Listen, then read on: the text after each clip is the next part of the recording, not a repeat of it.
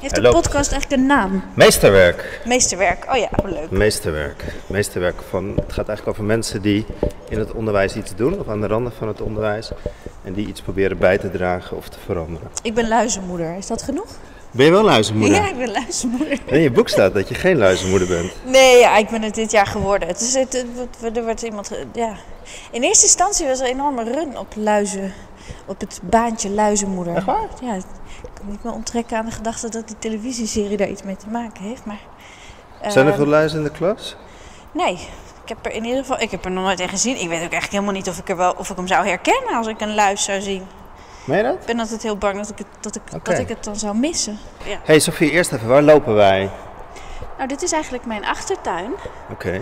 Het bos bij Amelisweert. Een zwaar bevochten stukje natuur, wat nu ook weer onder, onder druk staat. Want de A27 loopt hier eh, achter ons. En, Die horen we. ja, nee, rechts, dat, eh, wat je hoort, de snelweg, dat is de A12. Utrecht loopt natuurlijk veel te veel eh, snelwegen zo door het hart van Nederland. En het spoor gaat bij mij eh, door de achtertuin. Dus het is wel natuur, maar aan de randjes van die natuur wordt geknaagd. Wordt geknaagd. Ik ben altijd wel heel blij om hier te lopen, want ik vind het hier heel, heel erg mooi. Ja. Wil je verder nog een ontdek je plekje? Of is dit genoeg voor de weg we? van de snelweg? De eend. Ah. hey, vertel, want eh, we kennen je vooral van televisie en allerlei programma's en de radio. Maar je doet ook van alles voor het onderwijs. Ik zie je Eh, regelmatig oei. bij PO, Ja, bij de PO-raad, bij acties sta je op het podium, ben je dagvoorzitter. ja. Wat drijft jou om iets te betekenen voor leraren of het onderwijs? Ehm, nou, ik eh, denk zelf altijd dat ik ehm, eh, het liefst ehm, lerares geworden was als ik niet dit eh, werk was gaan doen voor televisie. Dus het is altijd een beetje mijn, mijn dagdroomberoep. Ik vind het altijd heel fijn ook. Of, nou, eigenlijk, ik denk dat het dan een basisschool zou zijn. Maar eh, vrienden van mij die in het onderwijs werken zeggen dat ik daar een hopeloos idealistisch beeld van heb. Dus eh, dat ik het vooral niet moet doen. Ehm, onder andere eh Annette Steegman, die ook wel eens in jouw podcast heeft Mhm. gezeten. Dat is een goede vriendin van mij. Die ehm, zou eh, dat. ehm, die zegt altijd: nee, joh, jij zou helemaal gek worden. maar daarom probeer ik dan binnen mijn werk, wat ik nu heb, toch iets te doen, denk ik, voor het onderwijs. Dus ik heb er een eh, boek over geschreven, De Schoolfabriek, over wat er, op, wat, wat er op je afkomt als ouder. Als je kind voor het eerst naar school gaat. Ik ben ambassadeur voor Edukans. En eh, bij allerlei scholen op bezoek geweest in eh, Malawi. En inderdaad werk ik af en toe ook voor de PO-raad. En ik probeer ook een actieve en betrokken ouder te zijn op de school waar mijn kinderen zitten. Ja, Als luizenmoeder. als luizenmoeder. Maar eh, ik heb ook een keer een theaterworkshop gedaan of voorlezen. Zo dat soort dingetjes. Vind Je ik draagt leuk bij. om te doen. Ja. Ja. maar welk beeld heb je dan, als je vrienden dat idealistisch noemen, welk beeld heb je dan van, van een leraar van een onderwijs? Nou, ik geloof heel erg dat een leerkracht een enorm eh, verschil kan maken voor de kinderen waar, waar hij of zij voor staat. Ehm, eh, door ze echt te zien. En ik denk dat het een heel creatief beroep is. eh, waarin je heel tastbaar ziet wat je iedere dag betekent. Waar- heel één op één resultaat van wat je erin stopt, krijg je er ook weer terug uit. Dat denk ik. En waarom is dat idealistisch dan? Ja, dat, eh, dat moet je aan, ja, aan de, Ah, Oké, maar waarom... Is ja. Nou, in jouw boek lees ik namelijk dat je in de schoolfabriek schrijf je dat je met een VWO-diploma, je hebt gestudeerd volgens mij, Ja. dat je het zonde vindt om in het onderwijs te gaan werken. Dat was wel het oordeel wat ik toen had. Ik heb heel hard moeten werken voor mijn eh, VWO. En ik denk als het toen de universitaire leraaropleiding al had bestaan, Mhm. eh, de universitaire PABO, zo zeg maar, dan da- dat, dat ik dat wel was gaan doen. Ja. Ja? Denk ik echt, ja. Oké. Ja, want ik, ik dacht, het is toch. Ja ik, ja, ik vond het zonde om naar het HBO te gaan als ik een VWO-diploma had gehaald waar ik echt mijn reet voor af heb moeten werken. Ja, maar waarom is dat zonde dan? Want als het, wat je zegt is dat als je kinderen ziet en een, en een rol van betekenis geeft aan de ontwikkeling van kinderen, waarom is het dan in godsnaam zonde om met je VWO-diploma leraar te worden? Het is toch juist ontzettend belangrijk om... Nou, ik denk Om wel dat ik. leraar te ja, worden. ja, ja. Nee, de- ik hoor wat je zegt. Ehm, ik denk wel dat in die fase dat ik een beslissing moest nemen over wat ik wilde gaan studeren, dat ik nog op heel veel gedanktes hinkte van wat ik allemaal wilde worden. En uh, de ambitie om op televisie iets te kunnen doen, was er toen ook al wel. Dus. Dat is groter. Ja die, ja, die heeft denk ik toch gewonnen. Ja, ik denk wel, ik vind het ook gek eigenlijk dat die, dat die universitaire PABO-opleiding pas later is ontstaan. Dus toch, waarom zou je het niet ook in het, het is ook een soort signaal wat je afgeeft van als je uh, VWO hebt gedaan, dan daar, daar is geen weg voor. Om via, ik, ik weet niet, het voelt ook alsof het vak gewoon pas nu eindelijk een beetje serieus genoeg genomen wordt. Dat vind ik jammer. Ja. Er zit een soort minderwaardigheidscomplex of zo schuilt daarachter. Hè? Wat natuurlijk best wel veel leerkrachten ook uh, hebben. Het, het, het, beroep wordt letterlijk niet gewaardeerd uh, in, in financiële zin voor wat het waard is. Als we allemaal zeggen, oh, het onderwijs, is, je, bent het er in no time met z'n allen ontzettend over eens. Onderwijs is heel belangrijk, oké. Maar wat hebben we er eigenlijk voor over? Die prijs die je daarvoor zou moeten betalen, die betalen we helemaal niet. En de waardering voor leerkrachten en ook de waardering die leerkrachten voor zichzelf hebben, die blijft een beetje achter, heb ik het idee. En, uh, daarin, uh, en vanuit zo'n minderwaardigheidscomplex kom je ook niet op een hele gezonde manier op voor je eigen belangen. Want er zit er altijd iets achtergestelds in. Van uh, we moeten meer gewaardeerd worden, of dan, wordt het, dan klinkt het snel zeurderig. Terwijl, hallo, waar je voor staat, dat is nogal wat. Het is heel goed om voor te staan. Ja. En, we, en um, ook. Um, ja, dan kom je allemaal van die termen zoals eigenaarschap en zo terecht. Dat vind ik ook vreselijk. Maar daar zit wel iets in dat veel leerkrachten het idee hebben dat ze aan allerlei regels moeten doen. Ook bijvoorbeeld vanuit de inspectie en een aantal CITO-toetsen en weet ik veel. Uh, en die, die regels die zijn eigenlijk veel flexibeler dan veel mensen denken. Dus uh, dat is een beetje wat ik begrepen heb. Um, dus eigenlijk als je als leerkracht zegt ik wil het anders, dan is er misschien wel meer ruimte voor dan je denkt. En uh, als je wat meer, wat steviger in je schoenen staat en meer waardering krijgt, dan durf je ook makkelijker te zeggen: Fuck it, ik doe het gewoon op mijn manier. Gaat anders. Ja, ja toch? Ik ben het met je eens. En maar helpt het dat jij dan, dat jij dan op zo'n podium gaat staan? Heb je daar dan ook daadwerkelijk, geef je daar een gezicht aan, kun je daar echt iets aan bijdragen? Merk je dat? Ja, ik, ik hoop het heel erg. Dat is altijd een beetje het lastige van, van mijn rol dan. Ja. Uh, ook ik heb een rare tik trouwens, dat ik wel aan die kant van jou moet blijven lopen. Ja, ja anders bank uit balans. Um, maar, um, wat grappig. Ja, ik hoop dat het wat bijdraagt. Dat vond ik zelf ook heel uh, ingewikkeld ergens toen ik naar Malawi afreisde voor Edukans. Denk, ja, ik, ben ik deze kinderen nou aan het helpen? Of ben ik gewoon een hele bijzondere reis naar Afrika aan het maken? Weet je? Er zit altijd Ja. iets. Wat is het antwoord?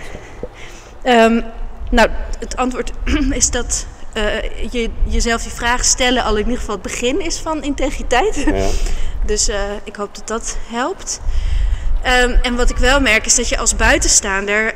Um, kijk, als. als dat is wel de rol die ik vaak vervul, ook als dagvoorzitter. Als buitenstaander kun je wel makkelijker iets zeggen over, een, uh, over het vakgebied. Zoals nou in dit geval dan onderwijs.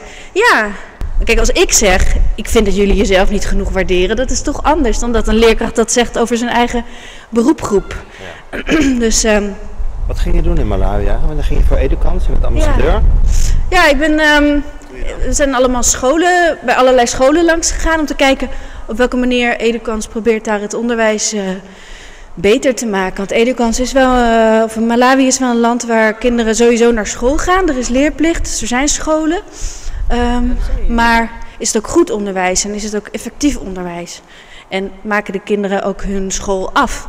Heel veel kinderen stromen een tijdje uit om dan bijvoorbeeld een poosje op het land te gaan werken als de ouders geld nodig hebben en gaan dan later weer terug. Dus dan heb je klassen bijvoorbeeld van 90 leerlingen, een klas van 90 leerlingen, en dan vinden we hier dat klassen vol zitten, uh, die ook heel divers zijn. Dus met veel, veel grotere kinderen, omdat die een paar jaar zijn uitgevallen en weer jongere kinderen. Ja, dus dat is heel, heel anders. En uh, nou ja, daar, daar hebben we heel veel filmpjes over gemaakt. En uiteindelijk kan ik daar dan over gaan vertellen bij Edukans of bij een avond om goede doelen, fondsen te werven of zo. En dan ja, probeer je mensen ervan te overtuigen dat Edukans een bijdrage levert om dat beter te maken. Ja, en wat doet Edukans dan specifiek in Malawi bijvoorbeeld? Wat heb je dan bezocht? Wat, um, wat zij nou, dan voor elkaar krijgen wat ze doen? Ze hebben heel veel partnerscholen Eh, ze werken ook samen met de lerarenopleiding daar. Oké. Dat vond ik zelf ook heel sterk. Dat ik denk, ja, daar begint het natuurlijk bij die leerkracht. Om die de tools te geven om de kinderen. Want heel, heel veel in, in Afrika wordt dan heel veel onder een boom en dan iets voorzeggen. En dan moeten de kinderen het nazeggen. En zo, ja.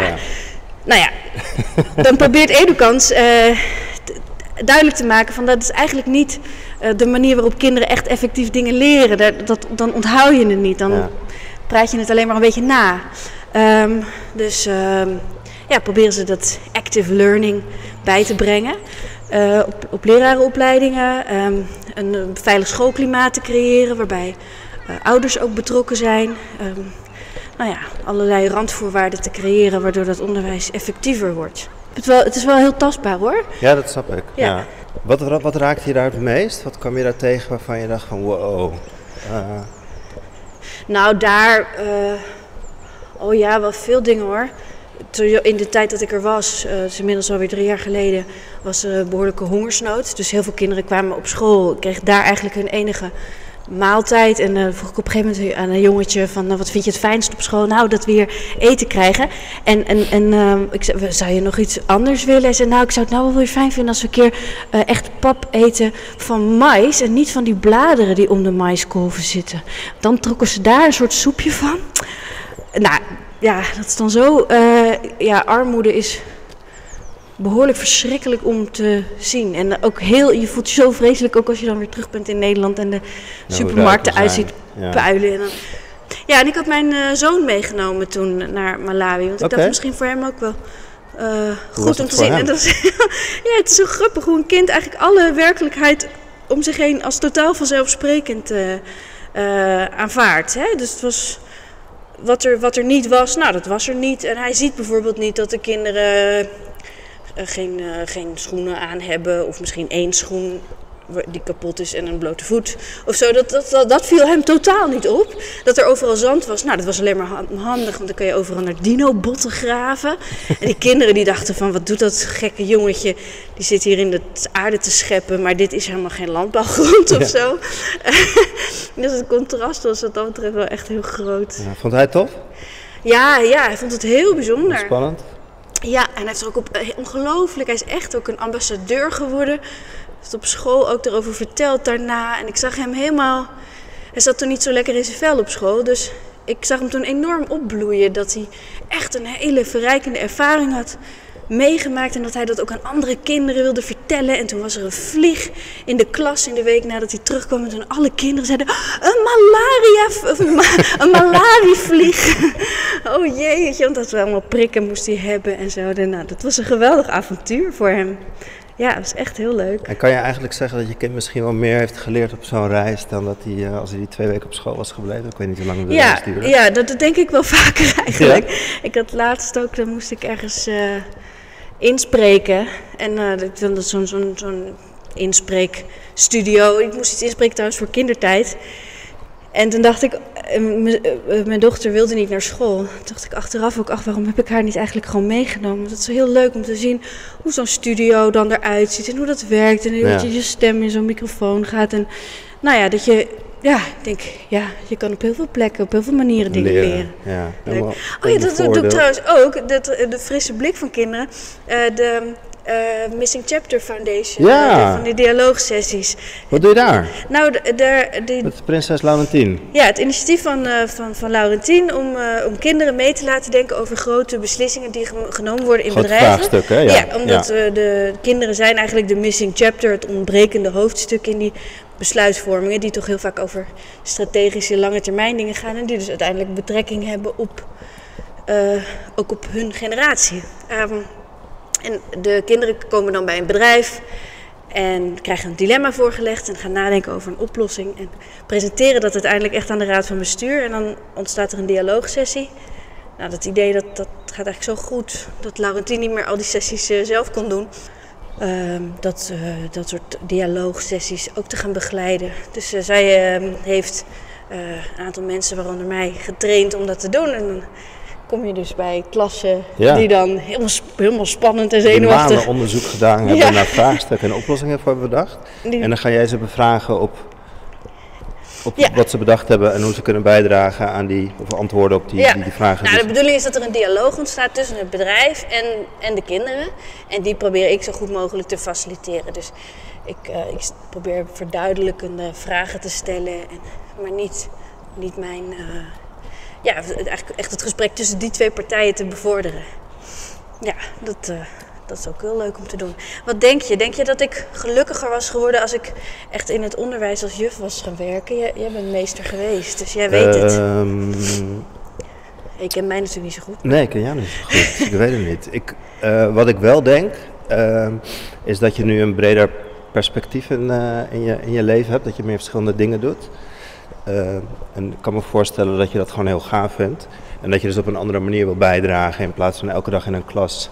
Ik kan me ook voorstellen dat het voor je best eh, benauwend kan zijn als je op een school Ja. de hele dag bent. ja, dat lijkt me ook als je gewoon bij één bedrijf zou werken hoor trouwens. Dat, is, dat heeft denk ik niet per se met een school te maken. Maar ja, ik, ja en, die, en die afwisseling en die uitdaging, dat, dat was wel iets wat we dus tegenkwamen in de brainstorm sessies die dan de PO-raad had eh, georganiseerd. En dat Aha. waren dan, eh, dat, dat probeerde ik dan zo goed mogelijk te begeleiden. Dat, dat inderdaad op de lange termijn het beroep van leerkracht vaak niet genoeg echt uitdaging biedt. Dat mensen die heel ondernemend zijn en heel door veel dingen getriggerd worden, en ik denk dat ik wel zo iemand ben, Ja.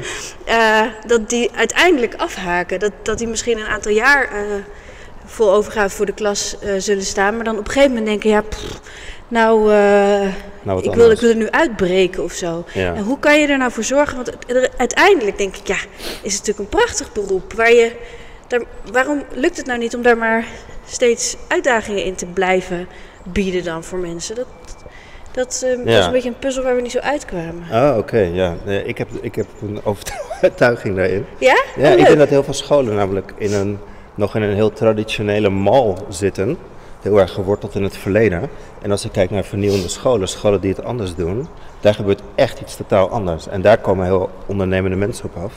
En er wordt heel anders lesgegeven, er wordt heel anders omgegaan met die kinderen. Ja. En dan wordt het ineens heel tof. Als je nou gewoon het, het principe neemt dat een, dat een leerkracht überhaupt gewoon een aantal jaar op... Jij werkt ook niet 100 jaar bij, eh, bij één programma, toch? Jij gaat ook, jij gaat Ja. ook wel weer door. Ehm, dus als je nou een aantal jaren gaat bijdragen aan zo'n school... en je komt met een andere expertise zo'n school binnen... dan draag je gewoon een paar jaar wat bij... En dan is het toch ook prima om weer door te gaan. Je hoeft toch niet meteen 30 jaar op één plek te blijven. Ja, dat is wel een goeie. Nou ja, dat is wel lastig als je eh, de overheid bent en denkt... ja, we moeten wel denken aan de duurzame inzetbaarheid van onze mensen... en de scholen, de klassen die er zijn, moeten wel eh, gediplomeerde leerkrachten voor, Ja, voor de klas hebben staan. eh, Dus je moet het wel organiseren op de een of andere Ja. manier. Hoe moet je, Maar hoe- kan er naast een gediplomeerde leerkracht ook, ook een Sophie staan die, die van alles doet met theater en met beeld en geluid, omdat je daar heel bedreven in Ja. bent en iets bijdraagt aan die school? Nou, dat, dat, dat, dat zou mij dus geweldig lijken. Ik zou best één dag in de week in het onderwijs Ja, willen dat- werken, voor de klas willen moet staan. kunnen? Nou ja, dat is niet zo makkelijk hoor. Want, eh, eh, of tenminste, ja, mis- misschien wel hoor. Trouwens, moet je gewoon even een opleiding voor doen. Nou, volgens mij eh, hoef je dus helemaal geen opleiding te doen. ja, dat, moet, je- moet je gewoon bij een school aansluiten die, die jou ziet. En het, die begon net van eh, mensen die eh, een goede leerkracht is, iemand die kinderen ziet. ja. Nou, Ja. als je dan kijkt als school van, hé hey, luister, Sofie wil iets doen. Ik wil bijdragen op een toffe school. Dan kan je toch een mooie vorm vinden. En dan kan je toch een paar jaar hartstikke toffe dingen bijdragen Ja, aan zo'n dat- school. ja. Theater, Ja. beeld, geluid eh, komt, komt in me op. Je kan ze daarbij bij helpen. En dan, nou ja, leert iedereen weer van. En na een paar jaar ga jij weer door. Nog. Kunnen we één tel die trap op? Ik ben Ja, benieuwd wat dat is. Ja, snap ik. Of weet jij wat het is? Ja, ik weet het wat het is. Dan gaan we door met de ontdek je plekje. Ontdek je plekje. ja. Maar goed, dat is, dus, dat is waarom ik dat- deze podcast ben begonnen. Om, om op zoek te gaan naar waar het in ieder geval wel gebeurt. Ja, En eh, te laten horen dat het ook anders kan. ja. En in Nee. die zin zeg jij dat eigenlijk ook. Ja. Je wil wel bijdragen. Je wil misschien niet eh, vijf dagen in de week 30 jaar voor een klas staan. Mhm.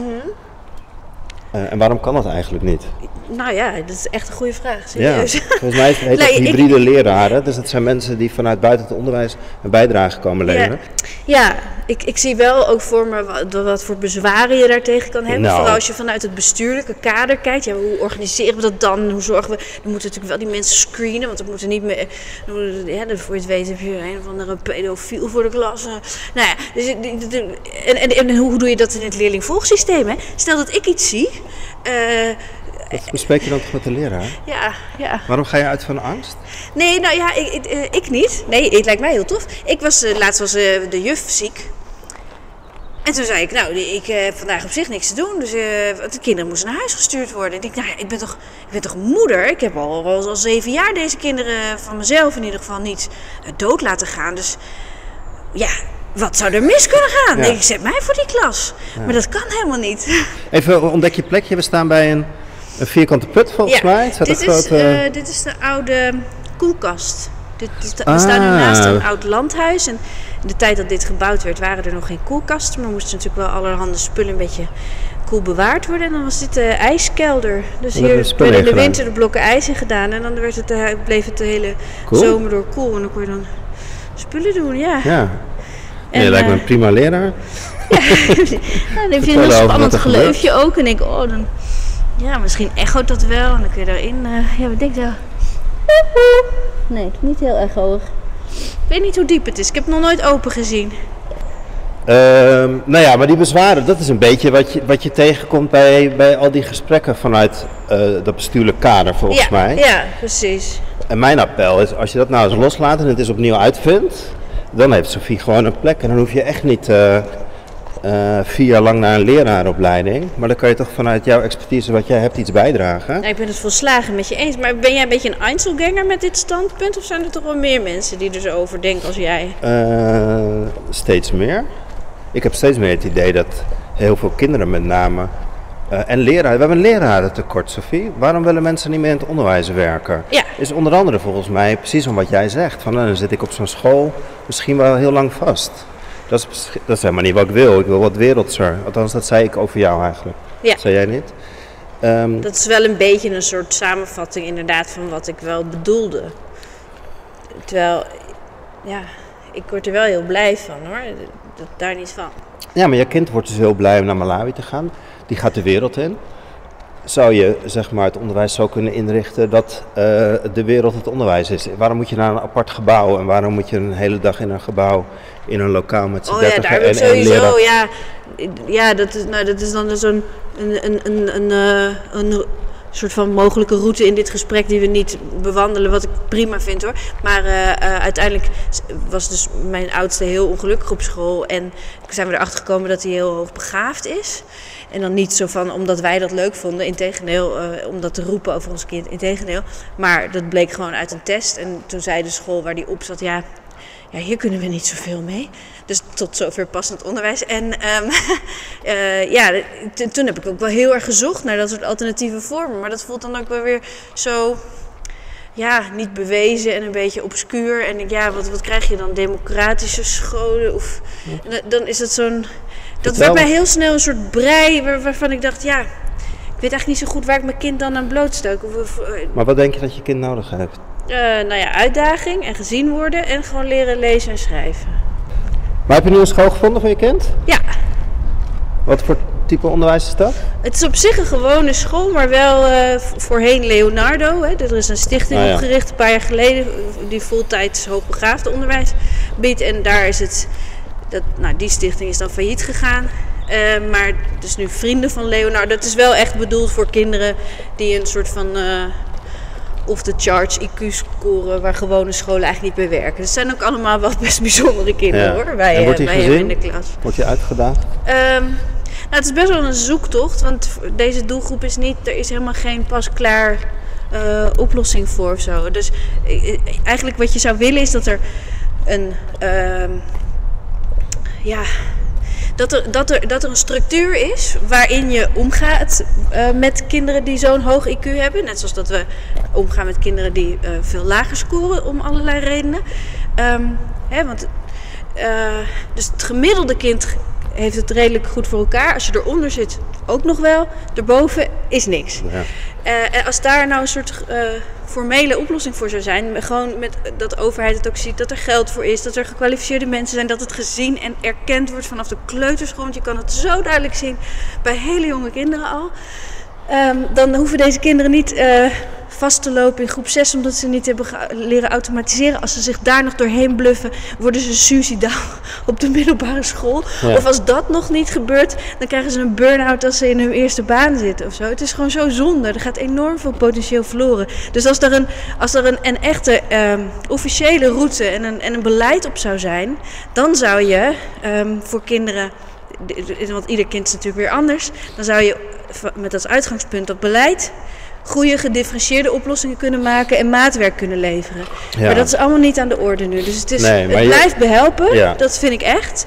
Ehm, maar het gaat nu best wel goed. Ja, ik denk wel, want dat, dat, dat is natuurlijk ergens een beetje het lastige met eh, leerkracht staat in, in, in, in autoriteit of in die, die, die, die, stuurt en die bepaalt voor een heel groot gedeelte wat er in de klas gebeurt. Natuurlijk hebben leerlingen ook eh, invloed, maar de grote lijnen worden wel uitgezet door een leerkracht. En als die leerkracht nou qua IQ in ieder geval al ehm, overbluft wordt door de Ja. kinderen. Hoe ga je dat dan sturen? Dat lijkt, dat, dat lijkt me oprecht best wel lastig. En, maar het is altijd heel lastig om erover te praten zonder eh, pedant of zo te klinken. Dus het is absoluut niet mijn bedoeling. Maar ja, dat... eh, Nee, volgens mij is het niet pedant, maar is het gewoon heel wezenlijk dat je, dat je aandacht vraagt voor, voor een groep kinderen die, die nu in het systeem niet gezien worden. totaal niet gezien. En, die echt, en, de, en het is heel schrijnend wat er met die kinderen gebe- gebeurt. He- heel veel uitval. De, de, het, het, eh, de- ik- nou, ik woon dan in Utrecht. Het grootste gedeelte van de kinderen in Utrecht dat echt uitvalt, die, dus de thuisblijvers, dat zijn, dat zijn hoogbegaafden. Ja, Dat is toch super zonde? ja. Dat zijn ook mensen die we hartstikke goed kunnen gebruiken in de maatschappij. Die kunnen op hun manier weer bijdragen. Ja, ik weet niet veel van vogels, maar over ontdek je plekje. Ik weet wel dat dit een nijlgans is. eh. ja mooi hè, Nijlgansen. Langs de vecht. ja. Klinkt altijd heel exotisch, toch? Ja, Ja. nee, inderdaad. Oh nee, maar daar zit, dus-. Oh, daar zit precies mijn, eh, mijn zoektocht van waarom zit het systeem zo vast? Waarom zit er zo'n, zo weinig diversiteit aan leraren op een school? Dat jouw kind die, die helemaal niet eh, raar of anders of whatever is, maar dat, dat jij zo'n zoektocht moet hebben naar een plek waar hij zich thuis voelt, waar hij veilig kan leren. Ja, ik vind, dat vind ik, heb ik best wel een ontluisterende ervaring gevonden, eerlijk gezegd. Ehm, ja, en ook heel verdrietig als, als je als moeder ziet dat je kind echt niet goed in zijn vel zit. Eh, dat is echt, eh, dat is heel naar. En ehm, Niet naar school wil. Nee, nee, nee, dat wil ik gewoon, nee, Ja. gewoon niet. Maar Ja. dat- zolang je vier is, kan je een kind uiteindelijk nog wel, krijg je Ja. nog wel op een fiets hoor, geduwd. Maar ik dacht toen ik zes, toen vijf was, vijf, zes of zo, dacht ik, hoeft ja, nu, we meer. moeten nu een oplossing hebben. Want ik krijg hem op een gegeven moment krijg ik hem fysiek niet meer mee. Letterlijk niet mee. En ja, je wil gewoon dat, dat hij op zijn pootjes terechtkomt. Absoluut. Gaat het nu Ehm, goed met hem? Ja, Gaat hij graag naar school? Ja. Hij, zit, eh, hij zit wel goed. Maar ik maak me ook onwijs veel zorgen bijvoorbeeld over de meiden en de signalering. Want bij hem in de klas zijn het dan alleen maar jongens. Meisjes worden überhaupt niet gespot. Want die hebben heel veel aanpassingsvermogen, ontwikkelen ze al jong. Eh, en die, die worden helemaal niet erkend. Dus die gaan Die komen door het beetje... heen. Ja, die conformeren zich wel genoeg en zo. Dat- ja. Was je daar zelf een voorbeeld van? Nou, dat, dat vond ik ook wel confronterend. Sowieso is het ouderschap natuurlijk heel lekker allemaal confronterend. Maar, ehm, maar eh, de, die uitslag van dat hoogbegaafdheid bij Magnus dacht ik echt... Hè? Want ik ben op de basisschool... eh, ja, ik heb de hele basisschool geloofd dat ik dom was. Ik ben, of, ja, dom, ja. In, in ieder geval... eh, was, ik, ik, ik hoefde nog net niet naar de lomschool, maar er zijn op een gegeven moment serieuze gesprekken over geweest. En nou eh, sch- eh, schijn ik een hoogbegaafd kind te hebben en dat komt allemaal dan, eh, v- dat is Jouw ook schuld. erfelijk en zo. dus ik denk, huh? ja, dus ik kijk met heel andere ogen naar jezelf. Ja. En eh, ik denk, oh jeetje, als ik nou anders en beter gezien was. Ik ben natuurlijk niet, eh, niet slim. Of. Ik heb uiteindelijk universitaire opleiding afgerond. Dus ik zat Ja. toch... maar ehm, ja, het kost me echt wel plaatje. kost mij moeite om te zeggen dat ik slim ben of zo. Maar eh, ja, dus ik ben niet dom of zo. Ja, dom is ook akelig. Ik weet het niet. Het gaat er gewoon om dat je allemaal je plek kan vinden. Het heeft Ja. voor mij heel lang geduurd. En voor, Is daar een leraar in geweest die voor jou een verschil heeft gemaakt? nou, wel pas op de middelbare school. En wie was dat en wat deed hij? Mijn leraar Frans, meneer Spruit. Meneer Spruit. Wat deed meneer Spruit? Nou, wel echt mij zien. Ik vond sowieso, nee, het is een vak natuurlijk. Als je Frans geeft, dan kan je al niks. Dat is fantastisch natuurlijk. Of misschien vind, ben ik dat gaan vinden om- vanwege meneer Spruit. Nee. Ik kreeg wel een idee bij meneer Spruit dat hij ook zo'n mooi Frans petje op zijn hoofd had? Ja, het was een wat oudere man inderdaad. Ja? hij, dat, ik weet niet, hij had zo inderdaad, een, maar dat had hij nooit hoor, zo'n zo albino uh, petje. Maar dat had zo gekund. Stokbrood onder de arm. Ja, dat was ook echt inderdaad iemand heel erg met die Franse flair en zo. En hij herkende iets in mij wat ik zelf nog nooit had bedacht of zo. Ook, ook een soort flair. Ja, misschien, uh, uh, ja, gewoon heel erg... Um, ja, misschien wel, misschien ergens wel op een niet verkeerde manier flirterig. Zo van echt heel erg stralen als hij mij zag. Ah, Sophie, daar ben je. Of zo, hè? zo heel erg. En, en ook uh, als ik dan iets zei of iets deed of iets moest voorlezen of zo, dan kon hij ook echt zo heel erg mij het gevoel geven dat ik het heel goed had gedaan. Ja, dat, uh, dat was echt de eerste die in mij geloofde. Ja. ja. Je hebt Frans gekozen? Je hebt eindexamen Frans gedaan? Ja, zeker. Ik had een 9 voor Frans op eindexamen. Ja? ja. We hebben de keuringsdienst van Waarde ook de enige verslaggever die Frans spreekt. En uh, dat is wel erg leuk. Dat is wel een afle aflevering. Ja, dankzij meneer Spruit. Ja. Een... En waar achteraf gezien, waar dank je me het meest voor dat hij je, dat hij je zag? Of heeft hij je ook nog een, een richting op gewezen? Um, nou, als hij me een richting op heeft gewezen, dan is die gewoon, dan is de, de richting was ik zelf. Ja. Hij heeft me op mezelf gewezen, op mijn potentie. Ja, en, en, uh, en het lef ook om daar echt in te geloven uh, gegeven.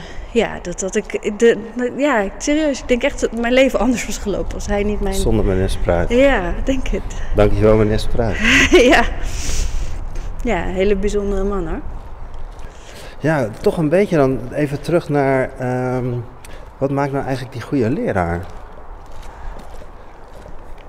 Je nou, een, uh, ja, ik denk, dat, ik denk dat, het, dat het een hele veelvormig individu is, die goede leraar. Want volgens mij is een goede leraar iemand die heel dicht bij zichzelf blijft. En je hebt heel veel verschillende soorten mensen. Dus denk ik dat je dan ook heel veel verschillende soorten goede leraren hebt, toch? Ja.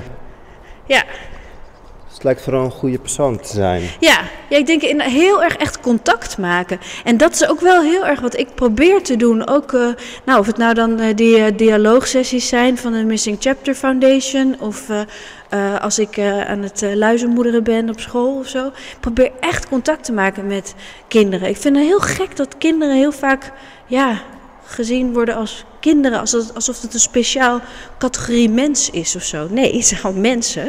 We zijn een beetje klein nog en ze hebben nog een hoop te, te leren en te ontwikkelen. Nou, maar we hebben ook een heleboel. in, toch? Ja. Je zo verteld. Ja. Ja, dus ik denk dat mensen die kinderen helemaal, die, die heel, hele volwaardige benadering van kinderen, daar geloof ik heel erg in. Ik denk ook dat dat nodig is en dat dat ook een beetje bij deze tijd past trouwens. Want als volwassenen heel eerlijk naar zichzelf kijken, dan moeten we toch constateren dat niet alles even goed gaat in de wereld.